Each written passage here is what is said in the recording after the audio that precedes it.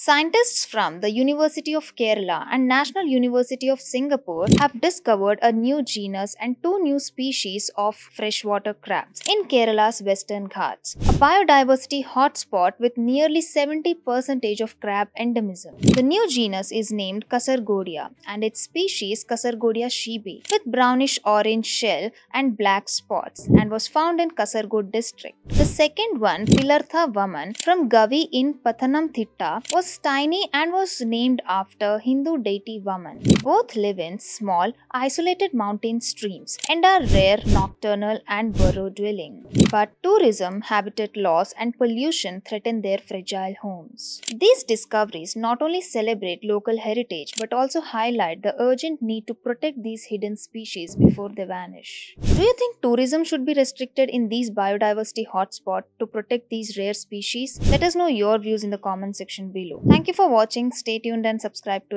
IAS.